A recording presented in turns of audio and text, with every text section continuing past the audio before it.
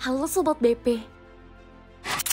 Badminton lovers tanah air dibuat terpukau oleh perjuangan jatuh bangun ganda putra ranking 26 dunia Pramudia Kusmawardana Yeremia Rambitan di babak pembuka Singapore Open 2023. Bagaimana tidak, sempat berada di ujung tanduk, mereka mampu menorehkan epic comeback dramatis atas wakil Denmark Kim Astrup Anders Rasmussen lewat aksi jatuh bangun menahan sakit hingga laga usai. Saat laga dimulai hingga interval game kedua, Pramire selalu berada dalam tekanan, apalagi saat Pram harus meminta treatment akibat rasa sakit yang ia rasakan saat tertinggal 1-7 di game kedua. Di momen ini, laga berlaga makin berat bagi Pramire, apalagi saat Denmark mampu mengunci interval dengan skor telak 11-2.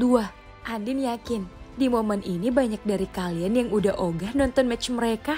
Hebatnya Sobat BP, Entah bisikan apa yang diberikan Coach Aryo dan Coach Harry hingga membuat Pramiere tampil kesetanan pasca interval.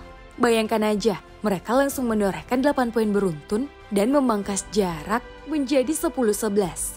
Ibarat kena mental, Astrup Rasmussen mulai merasakan tekanan di momen ini.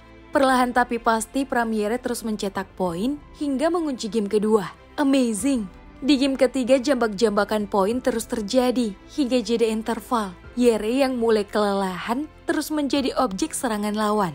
Sampai-sampai ia harus tersungkur di poin 11-9. Pasca interval Yere akhirnya tumbang kelelahan setelah menjalani rally 64 pukulan.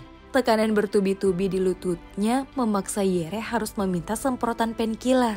Melanjutkan laga dengan fisik yang menurun, Yere tetap berjuang sekuat tenaga. Meski ekspresi wajahnya tak bisa membohongi rasa lelah yang ia rasakan. Makanya Sobat BP, tak mengherankan ketika Pramire sukses menyempurnakan epic comebacknya dengan kemenangan. Pram langsung bersujud di lapangan, bahkan saat bangkit pun Pram memegangi jidatnya seakan tak percaya dengan apa yang terjadi di lapangan.